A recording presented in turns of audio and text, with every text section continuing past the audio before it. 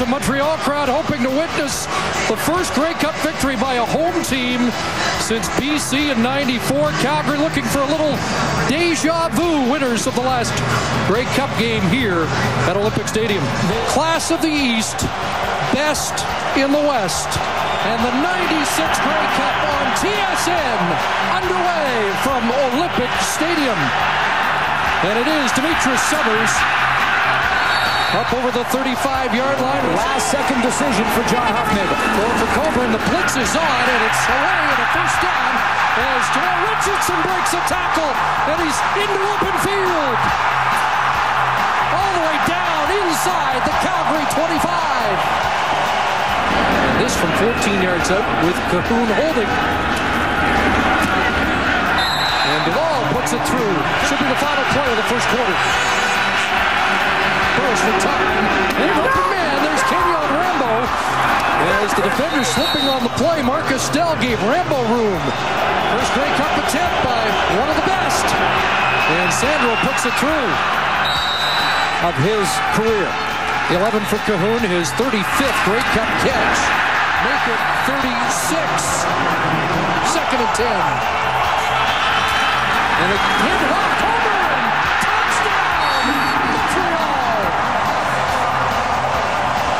16-yard touchdown run. And Dales hits that one high and as Taylor backpedal inside his 25 and he gets outside. Larry Taylor over midfield. And blocked at the 43-yard line. Justin Phillips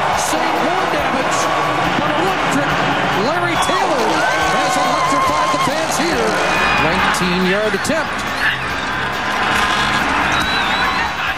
And Damon Duval puts it through. And to generate points on this drive late in the first half. And Burris over the middle with a big completion. And there's Nik Lewis once again. Nik Lewis with nice shake and bake in the open field to use his patience and his route running ability. The gain to 12, but they're threatening now. And Burris has time, now pulls it down and throws wide open. Brett touchdown! They've done it again. 20 yards, Burris to Ralph. What a big touchdown drive that is. Getting Calgary back within three in the final minute of this first half. They've got a fresh set of downs at the Montreal 39. One time play action fake and hit. And Henry Burris down to the 10. There's that zone read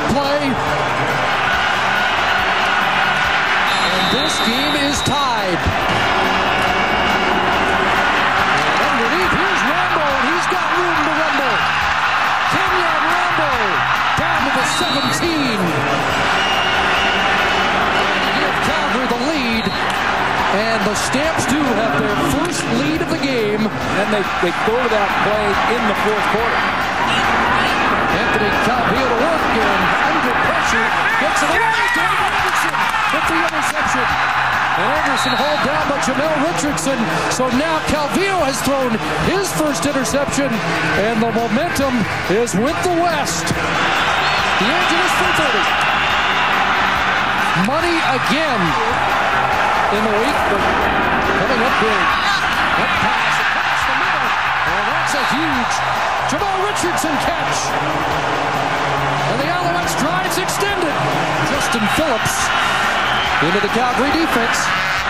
And Calvillo to the end zone, and this one is intercepted. And it's Shannon James. And it's a first down at the 50.